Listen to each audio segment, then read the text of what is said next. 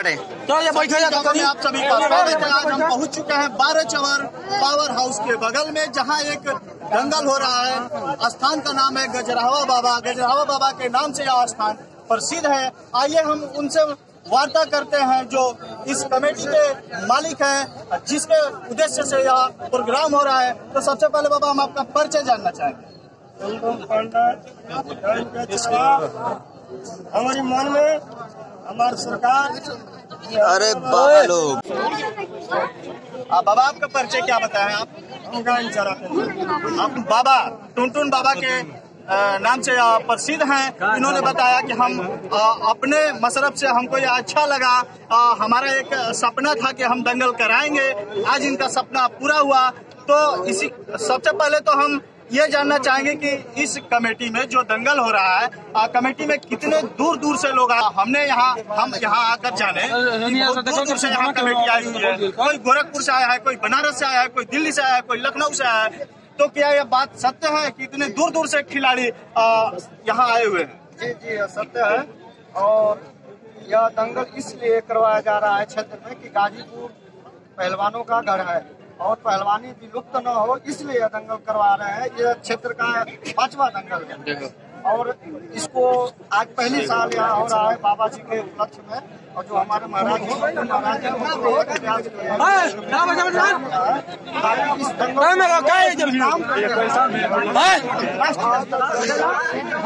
देखिए रमेश पहलवान जौराबाद इन्होंने बताया कि गाजीपुर की धरती पहलवानों से भरी हुई है। गाजीपुर में एक से रहते हैं। सुने हैं कि कुछ लेडीज़ लोग भी आई हैं क्या दंगल?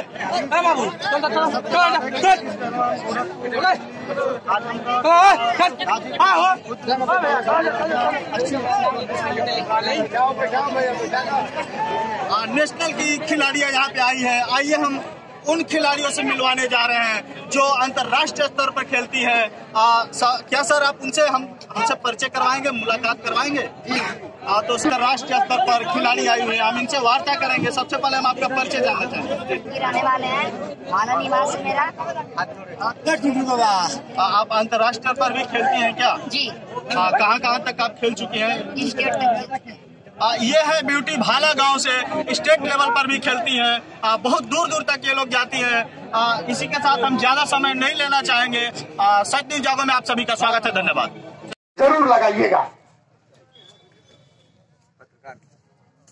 मनोज और ओम प्रकाश के बीच भरतपुर में सबसे ज़्यादा पेट दौड़ने वाले बच्चे पैदा होते हैं। भाला की ये लड़कियाँ हैं, एक बार इस लड़की के नाम पे तारा भी बजाइए यह गाजीपुर की वीरंगना है।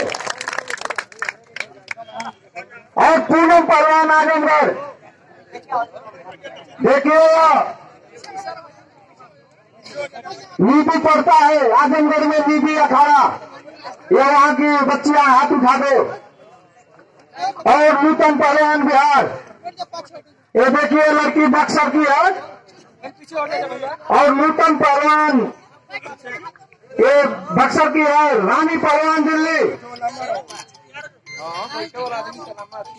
और निशा पहलवान गोरखपुर। और अनामिका पहलवान बनारस, देखिए लंबी वाली लड़की है। इसकी लंबाई कम से कम साढ़े पाँच फीट है। एक बार ताली बजा दीजिए जो बनारस के पहलवान भी आए हैं और पहलवान लड़कियाँ पहलवान भी आई है।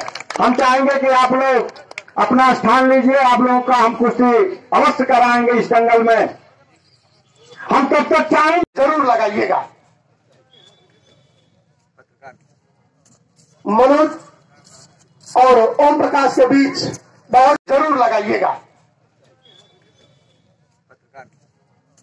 मनोज और ओम प्रकाश के बीच बहुत